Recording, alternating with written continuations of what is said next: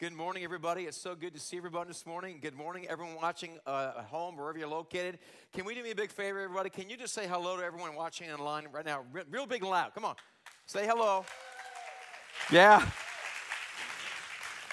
I'm so glad that you're here today. My name is Eric Bucci. I'm the lead pastor here at the Cornerstone Church. And if this is your first time joining with us today, thank you so much for being our guest here today. Please make yourself at home. And uh, if you're watching as, as, as well at home, please feel free as well to go ahead and comment in the section. You want to say amen or hello or whatever. Uh, we want to encourage people to interact online as well. Well, we're in a series called The Way, the Truth, and the Life. And right now, I would say that we really want to know what the way is, right? What way should we go? What's the truth? And how do I find life? And so we're talking about that today the claims of Jesus where Jesus talked about that. Let's go through it today. And, and what does that mean? And the context of this passage of scripture, by the way, happens when Jesus was ready. He was explaining what was going to happen, how he was going to die, how he was going to raise from the dead, how he's preparing heaven for the people, for his disciples. And his disciples were kind of baffled. I don't know if you've ever noticed that sometimes when God does things, it's kind of hard for us to grasp. Yeah?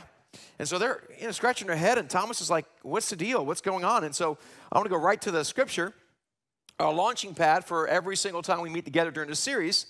And uh, Thomas says to Jesus, No, we, we don't know, Lord. Where, where are you going? You know, Thomas said, we, we have no idea where you are going. We don't know, God. We don't know what we're supposed to do. I don't know if I'm supposed to retire. Maybe you're going through it right now. I don't know if I'm supposed to go to college or if I'm supposed to go to trade school or if I'm supposed to stay in my parents' basement. I don't know what I should do. Does God calling me to be single? Is God calling me to be married? Am I supposed to uh, go to community college, state college? I, I don't know what I'm supposed to do. God, what should I do? And we have all these questions. And Lord, what should I do about my health? What should I do about my parents? What should I do about my children? What should I do about this or the other? We have a lot of questions. Which way should I go, God? Should I stay in Connecticut or should I move to Alaska? That's a little difficult, that one. Say, if you see San Diego, California, I'd say, oh, never mind. Okay, here we go. But no, Lord, we don't know any idea where you're going, so how can we know the way? And Jesus says something so extraordinary and so earth shadowing that it, it begins to take everyone by storm even today. This is controversial because Jesus makes emphatic statements that are non negotiable, that are so clear. And, and it was so scandalous when he said these things. Because Jesus basically tells his disciples and tells us, I am. He says, Jesus told him, I am. Just, just that alone, if we stop right there, I am. He's basically saying, I am God. That's what he's saying. I am God. There's no, no dispute about it. Jesus was not some great moral teacher. He literally said, I'm God. And that's why they put him on the cross. So he said, I am the way. Doesn't say, I will show you the way. He says, I am the way. This is it. I'm the way. Then he says, I am the truth. I, I don't give you truth. I don't show you truth. I am the embodiment of truth and the life. No one can come to the Father except through me. There's only one way to God, it's through Jesus Christ. And, and I'm, I'm telling you right now, and I, I, I mention every single week about this, is important to realize that He's the way, He's the truth, He's the life. No one comes to the Father except through Him. Yes, it's exclusive. Every religion, every person in the world is going to have to go through Jesus. And the only assurance is when we give our life to Christ. And so He's the way, He's the truth, and He's the life. And the moment you make absolutes is the moment you're going to be in absolute trouble with a lot of people because people don't like absolutes. Because if there's absolutes, you can't change them. But what I find so interesting, which we'll get into in a few moments as we kind of review a couple of the things, Jesus is the way. The very first week we mentioned this. We mentioned direction, the way, not intention determines destination. You can say all you want that I'm going to go to Disney World, and if you drive straight up to Canada, how many folks know you're not going to be in Disney World? You can be genuine, you can pray, you can even play It's a Small World on repeat play for 12 hours. and check yourself into a loony bin, right? Have you ever been on that ride, anybody? It's a small world after all. Yeah, okay. I happen to like it, by the way. Yeah. So, direction, not intention, determines destination. Just because you want to go someplace and go the right direction. I just had a, situation happen the other night. Jesus, I am the way. I, I call them the Waze, right? The Waze. He shows you the ways. I love Waze. I don't always listen to Waze, and I don't always, I look at the roads, right? But sometimes the best thing to do is to know the way. In fact, I was just picking up Luke the other night from work, my son, oldest son, and uh, picked him up from work, and we were talking, and I wasn't listening to the Waze. So I drove. I've driven this, I've driven on this for 20 years or more, but I missed the exit. Yeah. Because I wasn't listening to the Waze. And the Waze knows the ways. Jesus is the way. He knows the way, and He is the life. So, direction, not intention, determines destination. And we mentioned last week what is true truth? Truth, right? It's this facts or information and facts, facts, true information is facts. Facts plus the love of Jesus equals truth. When we look what's going on in our economy right now, we look what's going on in our world right now, we got to take, gather the facts okay, plus the love of Jesus in relationship equals truth. Facts don't set you free, truth does. True truth is Jesus. Facts alone don't save you, it's the truth of Jesus Christ. Facts plus the love of Jesus in relationship equals truth. And then truth is absolute and unchanging. And so this is the, now people would say, I, I disagree. We talked about this. Remember, we talked about it. We talk about what true truth is. Jesus says, I am the way, I'm the truth, and the life. There's no one that comes to the Father except through me. How can you say that? There, there are no absolutes, everything is relative. Your truth is different than my truth. And so uh, some people would say there are no absolutes, but do you realize that statement alone is an absolute? If you tell someone there's no absolutes, how can you know that? I asked someone that. How do you know there's no absolutes? Because there's no absolutes. Uh, do you realize you just said an absolute? By saying there's no absolutes? Yeah, that's what they did. And you know why? Because there are, there are absolutes. And you can't run away from absolutes. You can say what you want, you can make up your own quote unquote truth, but there are absolutes. There is truth, there is false. And Jesus, heaven and earth will pass away, but my words will not pass away. He is the truth, He is the life. Jesus told him, I am the way, I am the truth, and I am the life. Today we're going to talk about life. What does life mean? What does life mean? No one can come to the Father except through me. So, a lot of people run after God's truth. They find God's truth. And if you find God's truth, you're going to be blessed, by the way. Whether you're a believer or not, there are attributes of God that are truth. And think of it this way, everybody. How many of you have seen a boat go by? A boat, right? And when a boat happens, what happens behind a boat? They call it a what? A wake. It makes waves. And so a lot of times people in jet skis and stuff like that, and if you're in the Connecticut River, they like to find the big ferries that come by or the big tankers that come by because they make a huge wake. And what they'll do is they'll jump them, which I tried doing one time and I hit my face with the dashboard. But that's beside the point. so not in the Connecticut River, but on my honeymoon. Yeah, yeah, yeah. You don't want to hear that story, do you? We're not going to go there. So, but anyhow, what happens is there's a wake from the, the vessel, the ship that goes by. And that wake, you can jump for a while, but the wake gets smaller and smaller and smaller until it basically dissipates into smooth water. And so, what people do is they follow God's truth behind it because God's truth. All truth's God's truth. And so they'll find truth and they'll go after that truth. But the problem with that truth is that truth will disintegrate without being connected to God. You see, God, what He wants us to do is He wants us to connect to Him. He's the truth. all the wake, all the circumstances that come after him, we can follow and flow in. But if we disconnect ourselves from the truth, we'll be in a degradation of truth. So Jesus said, I am the way, I am the truth, I'm the life. No one comes to the Father except through me. So tell today, living in life. What is life all about? God wants us to live in life. And so the word life, I am the way, I am the truth, I am the life, it comes from the Greek word zoe. And zoe simply means substance, property, without which there would not be life. So, zoe, it's the substance of life. So, Jesus says, I am life. Without Jesus, you pull Jesus out, everything falls apart. The United States of America, in many ways, we're pulling Jesus out. We're pulling God's truth out. Yesterday, there was a tremendous march and a festival called The Return. There was two things going on simultaneously. Over 100,000 people. Uh, it, was, it, was, as far as the eye could see in the National Mall. Did you anyone see in the news? No, right? Isn't that amazing? It, you know, if I throw a rock through a window and, and, and say something, they'll put me on the news, but you'll have uh, over 100,000 people talking about God and how we need to get no protest, by the way, peaceful, calling people to God. We don't hear about it. It's sad. You know, you know what? You know, I just want to take a little social commentary if you don't mind. Unfortunately, this is what happens. If it leads, if it bleeds, it leads. So if there's violence or something destructive, what happens? The media will reward disobedience and violence. If you do something peacefully, they won't give you in the news. So what does that tell people? Gee, if I want to be in the news, I better burn something. I better do something to get attention. But if I'm just peaceful, they're not going to put me on the news. So, what does the news media do? They're partially responsible for the violence we see in our culture because they reward violence. Think about it.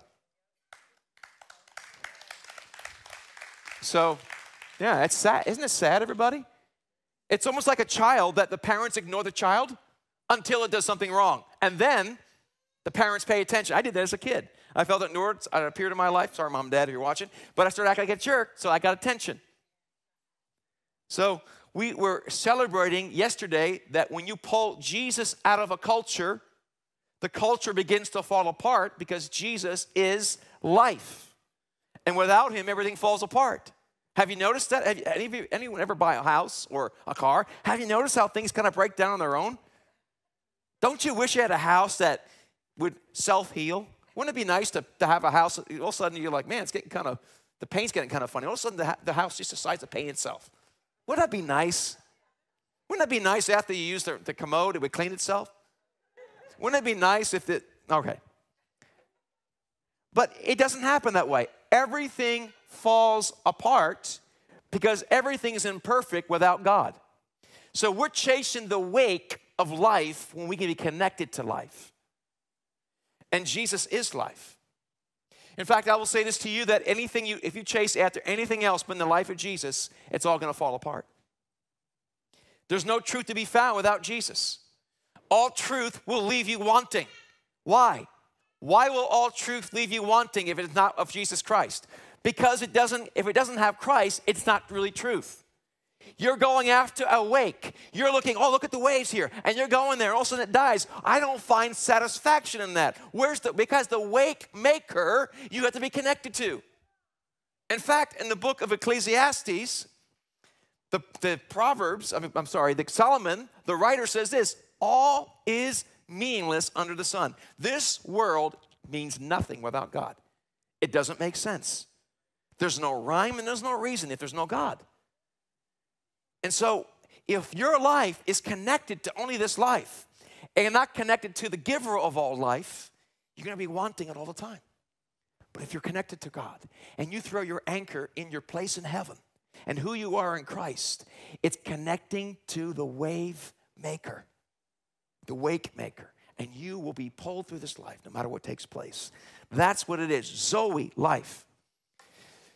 My grandmother, who I affectionately called Nana, passed away a number of years ago. This is a long time ago, over 25 years ago or so, more than that actually. And my mother uh, was lying in bed that night, and about 2 o'clock in the morning, she was awakened. Mother. She just felt like, Mother. Her heart fluttered, and she prayed. Well, we've got a call from my grandfather that my grandmother passed away. So we drove to New Jersey to, to see her. And uh, incidentally, the, the, paramedics and things, which you probably, the doctor said she probably died about 2 o'clock in the morning. Isn't it kind of interesting how we're connected? How we're connected to God and how, anyhow, it's a very interesting thing. My mother sensed it. And um, anyhow, so my mother said, I want you to, my mom and dad said, I want you to see Nana. I'm like, really? Yeah, they want to teach me about life and death. I was a young child. So I went into the bedroom, and there she was lying on the bed. And I'll never forget it, the first time I've ever seen a dead body. It was lifeless. It looked like her. She still had, everything was still there, but there was no Zoe. There was no substance, property, without which there would be no life. And so she was just a body, but there was no life in it. And what brings life, everybody, is the very word of God. It's God's presence, it's His Zoe that brings life. If you take away that life, there starts to be death. And so I began to realize, wow. And so it's Christ, Jesus brings life. And so no matter where you are, we can jumpstart life through Christ Jesus. He says this I am the door. If anyone enters by me, he will be saved. That's another word, so, so saved. And will go in and out and find pasture. He says, I am. Again, he's saying, I am God. The thief comes only to steal and kill and destroy. He's called an angel of light. His job is to kill, steal, and destroy. I came that they would have Zoe and have it abundantly. So, abundantly simply means like without measure. Kind of like going to maybe you're, if you're, if, how many of you ever went to a grandmom's house, someone's grandmother that was Italian during the holidays? You ever go? Oh, I love it. My, my wife and I went to Italy, and, and this lady was awesome. You know, I was sitting there, I was really hungry, so I, I kept eating the first course, and I kept going, and they brought something else. I'm like, okay, I had no idea what was, going it kept going on and on and on. They had to take me out in a wheelchair, right?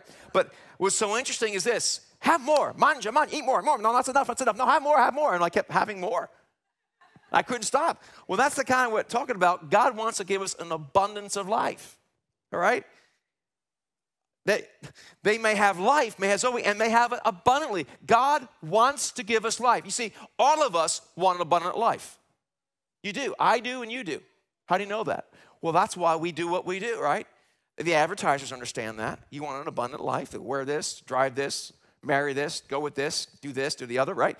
Why? Because God gave us a desire to have abundant life. There's nothing wrong with having an abundant life. That's what God made you for. And you're never going to be satisfied until you have an abundant life. So you'll try and try and try and try. The problem is you're going after the wake, not the wake maker. And the wake maker, the life is Jesus. You connect that, you're connected to the source of it you experience the, the aftermath of it. You experience the wake of it, but you're being pulled by a person and a relationship. Jesus is the life, and He wants us to have an abundant life. That's what He wants. We choose to do it our way. Our culture says we don't want to do it your way. We're going to do it our way, and we can see what happens. So Jesus said to the Jews who had believed in Him, if you abide, in other words, live, not just here, abide in my word, you're truly my disciples, and you will ginosko, know very intimately. You will know intimately through relationship, intimate relationship. That's what it actually means. So you will know, be familiar, experience the presence of truth. You will know the truth, and the truth will set you free. In Him, was, in John chapter 1, verse 4, in him, that's Jesus, was Zoe. And the life was the light of men. In the beginning was the Word, and the Word was with God, and the Word became God. So, what is it? It's the Zoe of Christ. Christ is the life. He holds the universe together. We talked about this time and time again. And the reason I bring this up for, because other world religion talk about connecting, like Hinduism, for example, you have to connect to the energy field. Mm, right? And then we have the theologian Yoda and George Lucas who say the same thing feel the force.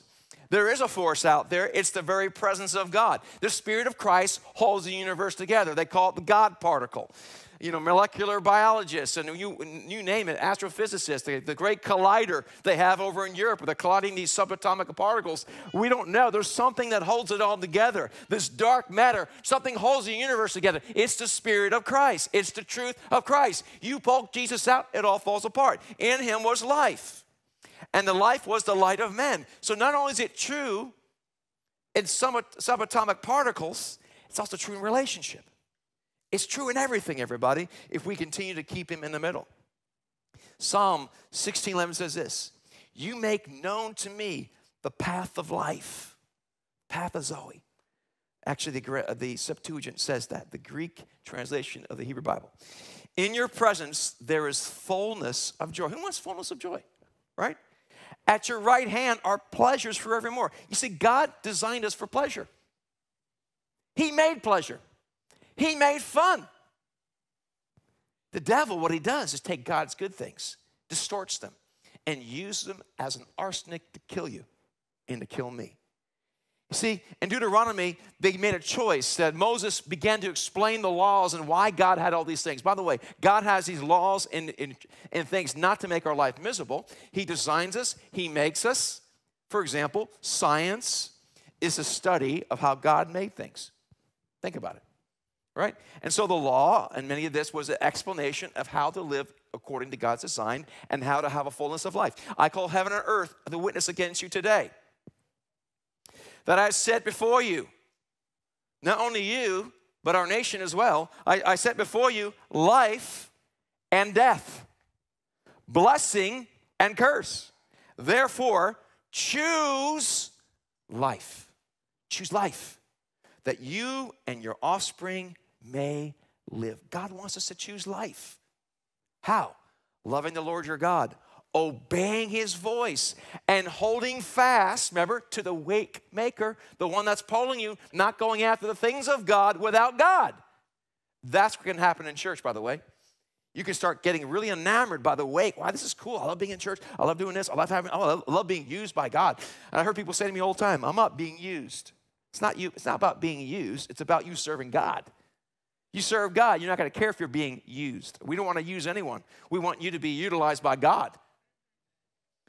So, loving the Lord your God, obeying his voice, and holding fast to him, for he is your life and length of your days, that you may dwell in the land the Lord swore to your father. God gave us promises he wants us to experience. So, listen, first thing I want to say is this living in life is a choice. You and I have to make that choice because it does not come naturally. It doesn't. We want to live in life, but we have to choose life because what happens is gravity. It takes no effort to do things that are wrong, is there? And so I want to bring your attention to something. I'm not going to go into a long explanation of this, but the two trees. And in the very beginning, our first parents, Adam and Eve, they were in a garden. It was something that God provided, and He provided them all sorts of trees. I'll go ahead and read it to you. And so, and the Lord God commanded the man, saying, You may surely eat of every tree in the garden. Give him anything you want. But of the tree of the knowledge of good and evil you shall not eat. In the day that you eat of it, you shall surely die. Then they were tempted by the tempter. You won't die. You'll become like God. In other words, you will become your own God. And by the way, you're not designed to be your own God. You become your own God, you destroy yourself because you're not capable of being God and neither am I. If you think you're God, if you're married to someone that think, oh, no, no, that's in place else. But the tree of the knowledge of good and evil, you shall not eat of it, for the day you eat it, you will surely die. And so what happened was, Eve saw it was good, it looked attractive, right? And by the way, it was not an apple tree, and this is not an Adam's apple. this morning, I, I made myself some coffee. I grinded it at home and all that. I, oh, I over grinded it. And this morning, just before I got here, I drank it and I got the coffee grinds in my vocal cords. So if I'm having a hard time here, it's because I drink manly coffee. Called truck driver coffee with grinds in it. Okay, the tree of the knowledge. What does that have to do with my sermon? Absolutely nothing. I just have to get a time to give a drink. so, the tree of the knowledge of good and evil, you shall not eat of it, for the day you eat, you will die. So, life, living in life, how we view God. Let, let, let me explain this a little bit there's two different ways to live in the tree of life. You see, there was a there was a tree, the knowledge of good and evil, one tree. The other tree was the tree of life. The tree of life was what you live forever in. And God says, I don't want you eating the tree of the knowledge of good and evil. Because the tree of the knowledge of good and evil without the life of God in the middle of it will be poison to you. This is why there's people that have a relationship with God based upon the merits of what they do. And by, you know the different pillars that you have to do in Islam, or and, and, different things you have to do to get rid of bad karma and in, in Hinduism, and all these different things you're trying to do to try to appease the gods. You got to do all these lists. And, and, and if we're not careful, Christianity can become nothing more than trying to obey a bunch of rules and regulations. And it's exhausting because it goes on and on and on. I can't do it, it's crazy. But God is not asking us to live just in the knowledge of good and evil. He wants us to choose the tree of life. That's the first tree we're supposed to eat out of, not this tree of the knowledge of good and evil. And so, what does that mean? What's the two ways to live your life? You can live in your life in the knowledge of, of, the, of good and evil. It's all about rules and regulations. Now, I'm not suggesting for a moment you do whatever you want to do. But Jesus made it very clear, by the way. What did he say? Love the Lord your God with all your heart, your mind, your soul, and your strength, and your neighbors yourself. If you love God with all your heart, your mind, your soul, and your strength, guess what's going to happen? You're going to automatically begin to obey the rules and the right ways of living because you're going after God. And the natural attributes and the natural things that take place is that. We've had people come to church, gave their lives to Christ. I wasn't even preaching about it, and they make an appointment with me, Pastor. Yeah, uh, we, we, I don't know what it is, but I, I feel like I'm, I, I shouldn't be getting drunk anymore. I don't know why. Well, the Holy Spirit's talking to you. Pastor, I don't know what's going on, but I feel like I, I should not be living with my girlfriend anymore. I feel like we should get married. I didn't say a thing. Just by following God, they start figuring out what's right and wrong. Not because God wants to take away their fun, God wants to give them a greater life, right? So, how, life is how we view God. You, are you going to view God as a great umpire or savior? Jesus did not die on the cross to be an umpire. Yeah! Right? No. He died to be your savior. One day he will judge, however, but he's come as your savior. If you love me, you obey my commandments. Now, let me show you the difference between living in the tree of the knowledge of good and evil and living in the tree of life, okay? Knowledge of good and evil is all about rules and relation, all about rules and regulations. And if you're not careful, church, let me tell you right now, you take Jesus out of church, I hate church without Jesus. I can't stand Christianity without Jesus. It becomes an oppressive, diabolical entity that brings misery to the world when you take Jesus out of the church and just follow the things of Jesus, but not Jesus himself, look out. We're in a legalistic or a moralist or, or, or, or a church that has no morality, and it is the complete disaster, right? If, just what Jesus says, I want to show you two different ways you can read this. If you, if you live your life in Jesus Christ and you view God through the tree of the knowledge of good and evil, this is how you'll read it. You will keep my commandments. Sorry. I was just, it's an illustration. For those of you walking, watching at home, someone just got up and walked when I said that. Okay. See, if you were here, you would appreciate that. Okay. Okay, so you will keep my commandments. If you love me, you keep my commandments. You don't love me. Keep my commandments. Or, how's this one? Hey, if you love me, you're going to want to keep my commandments. You know, when I spend time with my wife Sandra, I want to I want to forsake all others. I want to spend time with her. I want to love her. Why? Because I love my wife. I want to spend time with her. The natural reaction is do the right thing. Do I still have to have rules not to do the wrong thing? Yes. But that's not the motivation. The motivation is to love my wife. The outgrowth of loving my wife is doing the right thing. But if all I'm, oh, ball and chain, can't do this, can't do that. Ah, all she wants is this. All she, it's all about relationship. And by the way, this is a little, little, uh, little uh, word of advice. If you get married and you have kids, don't make the, don't make your marriage about the kids only, please. You'll destroy your marriage. It's your relationship first. But that's beside the point. That is for free, by the way. If you love me, you'll keep my commandments. So, what God would want us how to do instead, He wants us to love Him first. When you love God first, you're going to want to keep His commandments because it's natural. It's a natural outgrowth of your relationship with God, is obedience to God, not out of duty, but out of delight because God knows, I trust God. He knows more than I do. So I'm going to believe His word. Even though everything in my body says no, I'm going to trust God because in the long run, it's going to work out. That's, my friends, the difference between living in the tree of the knowledge of good and evil and the tree of life. Real relationship brings life. So, life, how we view God. How do we view God? It's really important. Another one is life. Second one is our thoughts and our speech. Living in life. The first way to live in life the right way is how you view God. I pray that you begin to view God as the lover of your soul. Not the guy that just puts up with you, the guy with the beard, sitting in a chair with a cane, ready to throw an electric bolt at you. No, God's a loving, benevolent Father. Do you know the gospel means good news? So, life, how we view God. The second way we live in life is our thoughts and our speech. How do we think? I think, therefore I am. As a man thinks of in his heart, he will become. How do we think? Our thoughts and speech is very important. I'm going to talk about this. Death and life are in the power of the tongue. How we speak. We are throwing seeds. Every time you and I speak, we're throwing seeds out. We're either throwing seeds that are like weeds and thistles, or we're throwing out good seed that will grow well. Right now, we're struggling with our lawn. Have you noticed? Don't, please don't look at the lawn. I'm very upset with our lawn right now at the church. So, anyhow, we got weeds coming up, and this is it. We're trying. So, right now, we, we, we uh, drill seeded, and we're trying to make it better. We're trying to sow the right seeds. You got to sow the right seeds. Death and life are in the power of the tongue, and those who love it will eat of its fruit. So, what are you sowing? You're going to eat what you, what you put out. Whatever you sow, you're going to eat. So, what are the words you and I say?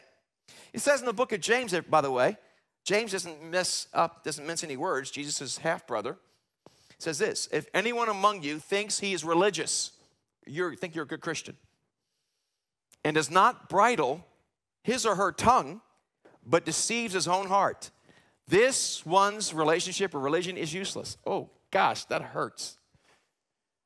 How many of you maybe are struggle? I struggle with my mouth a little bit. I, I get beyond. I do. I, sometimes I say things I wish I didn't say. Am I the only one here?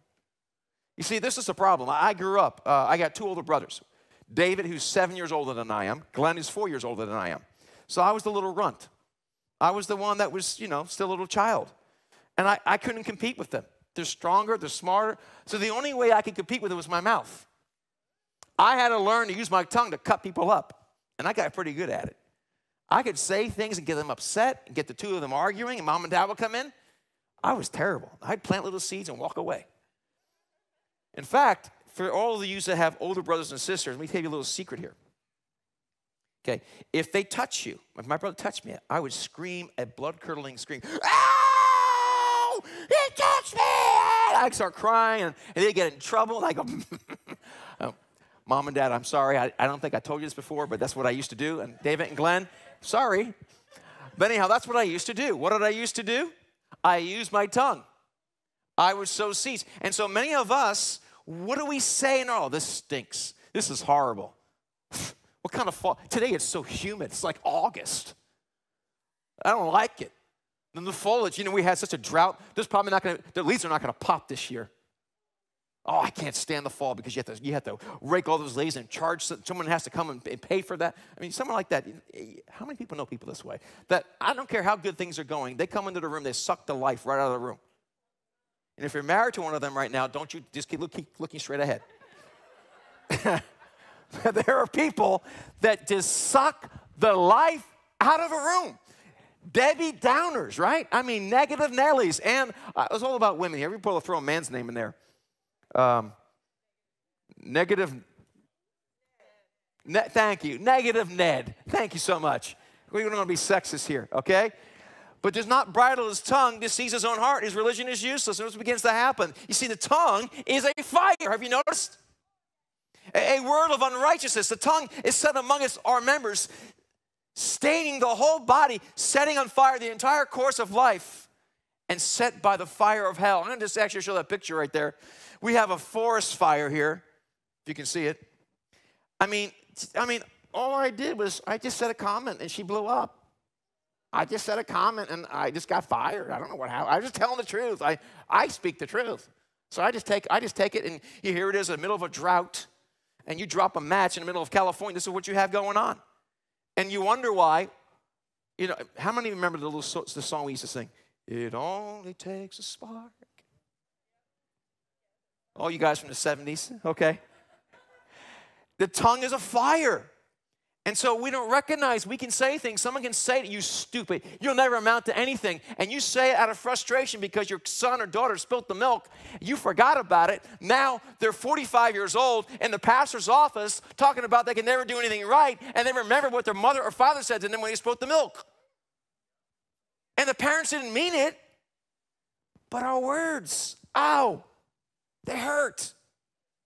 It's like taking a pillow, going on top of a house and throwing out all the feathers and trying to put them back in the pillow. Our words matter. The tongue's of fire. Not only that, you can get rid of that now. Oops.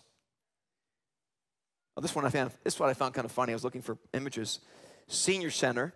Wear a mask. Wash your hands. Social distance. Stay safe. Come in. Join us. I just thought it was a little funny. All right. I get a sick sense of humor. Pray for me. And the book of James goes on tells us about our tongue. This is what he says. For we all stumble in many ways, do we not? Absolutely. Check this out. And if anyone does not stumble in what he says, he's a perfect man, able also to bridle his whole body. This is what the Bible says. If you and I could control our tongue completely, we'd be perfect. Do you know anyone that's perfect? If you think it's yourself, you've got some serious issues. Why? It's very difficult to control the tongue. That's why it's so important that we got to make sure that our tongue is speaking life, not death. I want to be called a son of encouragement, not a son of something else, right? I want to be a son of encouragement. And this is what where God's calling us to be. Us, uh, encourage people, speak life.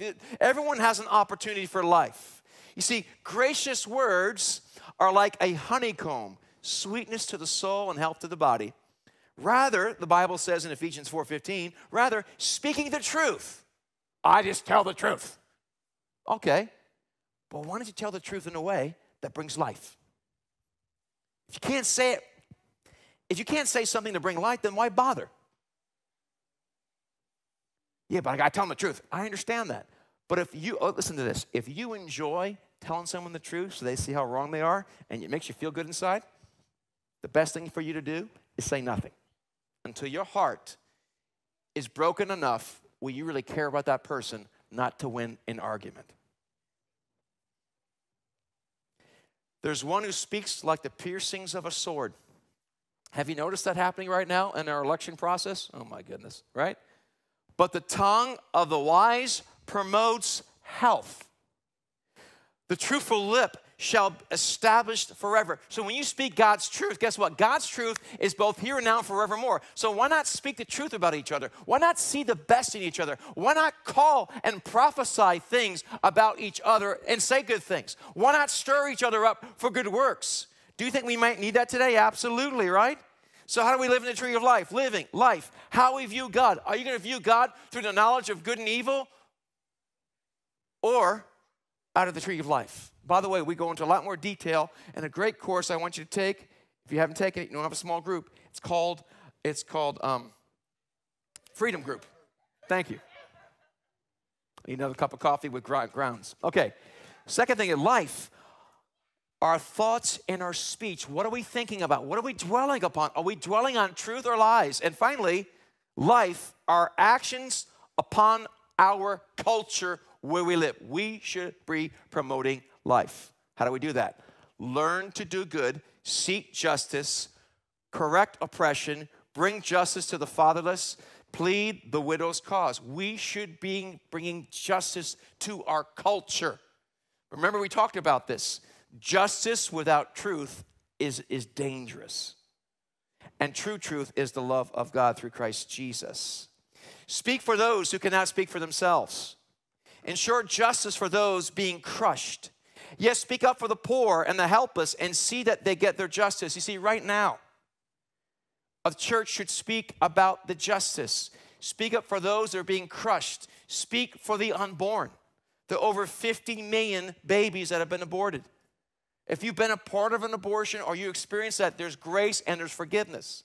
But we should speak for those. We should stand up for life. If, if, if the very fundamental life of a culture, if we don't even value the life of a baby in its mother's womb, how are we supposed to have life in our culture? We are, uh, we are burning in a culture of death. Why is it people kill each other now? Because we don't value life. So we should value life from the womb to the tomb. Not just babies, as important, by the way, it's not either or, it's everything. So we should pray, we should hold our elected officials accountable. We need to be praying for the Supreme Court nominees that are taking place. Do they believe in the pursuit of truth? These are important. What are our elected officials voting like? What are they like? Find out. Don't listen to the rhetoric. Don't look at how they look or how they talk. Look at what their policies are. Are they promoting life? Right? I'm, I'm going to leave that aside for now, but speaking for those who cannot speak for themselves. What about people that are being oppressed? What about whether you, whatever you think? There's a people in our population right now that feel like they're being oppressed. What should you do? Out of love, listen. See what you can learn. How can you be a blessing to somebody? You're not going to change them by arguing, right? Bring life. Find out what's going on. Remember, we talked about in the beginning of our time today that the only time people pay attention to you is when you burn something down. The media does not give you any coverage unless you do something that leads, it bleeds, right? Well, there's hurt going on. We should attend to those hurts. You may not agree with it, but at least listen like Christ listens be a blessing, help the oppressed. Speak up. What happens if we don't? Other people will, and they'll take advantage of the hurt. The enemy sees the hurt, takes advantage of it, and brings in a Trojan horse to destroy our culture. We should be the ones that bring healing. Speak up for those who cannot speak for themselves. Ensure justice. Love is justice. If someone is drowning and you're sitting there in a pool, you're having a drink, oh, the person's drowning. It's not my responsibility. The parents should take care of that child. I'm just going to sit here and do that. Oh, I love my own kids. Is that love? That's reckless. You hate life if you don't save life. You just can't turn a blind eye. So, what's going on in our culture right now? We have a culture of death. We have a culture, of euthanasia now. Not youth in Asia. There's nothing wrong with euthanasia, but euthanasia. Where you're killing people. They call it mercy killing. So the very people that are bored of their children now their kids are going to abort their parents. They're getting too old, taking too much money. Let's have death with dignity. And we can see this happening across our culture. Speak for those who cannot speak for themselves. Ensure justice for those being crushed. Yes, speak up for the poor and help us. Finally, as we, He has told you, oh man, what is good and what does the Lord require of you? But that you would do justice and to love kindness. Here. And walk what? Ah, what does it mean to be humble? By grace you have been saved, not by works, lest anyone should boast. When I realize what a screw up I am without God and what a walking disaster I am without God, then I am a lot more gracious to people who are missing it. We should have great, great grace for folks who don't know. Show them there's a better way. But if they think you're out to show them that they're wrong, they're not going to listen to you if they see that you're out there to help them, at least you might have an opportunity to make a difference. You see, Jesus is life. At every moment, we choose to live in life or death. What are you living in? What am I living in? Are we living in life? Or are we living in death? And you have to make that choice all the time. Am I gonna, am I gonna think death slots? Jesus said to her, I am the resurrection and the Zoe, the life. Whoever believes in me, though he die, yet shall he live. And everyone who lives and believes in me shall never die. My friends, that's the big deal here. That you can connect yourself to heaven and that the best days are always ahead for you in Christ Jesus. And that my identity is wrapped up in what Christ has done. Although my body be destroyed, with my eyes I shall see God. This is not the end. I'm just a passing through. And one day I'm going to see Jesus face to face. I have his life inside of me. And no matter how bad it gets, no matter how dark it gets, no matter how much destruction there is, my hope is built on nothing less than Jesus Christ and his righteousness. I dare not trust but any gain. Christ is the solid rock. Have you given your life to Jesus? I ask you to bow your heads and close your eyes. And maybe you used to walk with God, maybe you used to follow God, but man, you've been following your own way. Maybe you've never done that. Maybe you've always had a caveat. I'll do that, but I won't give my whole life. Jesus requires something, He requires everything. If you don't give Him everything, you've given Him nothing. It's all or nothing with God. And the good news is, when you give Him all, you get everything because He's your creator, He's the lover of your soul. If you'd like to give your life to Christ for the very first time, maybe you've fallen away, and you want to get right. I want to repeat after me this prayer to help you on a new path. Say, Lord Jesus, go ahead, pray. Lord Jesus, in your own way, thank you for dying on the cross for me. I believe you are the Son of God. I believe you rose again from the dead. I ask you to forgive me of all the things I've ever done wrong, both known and unknown, all my sins, missing the mark. And today, I choose to make you the Lord and the Savior and the owner of my life. I hand my life over to you. Take my life, it is yours. Thank you that I am now your child according to your word in Jesus' name. Amen. If you did that for the very first time, there's a card in front of you in the seat, or you can go to the, um, you can go to, uh, to you can text as well.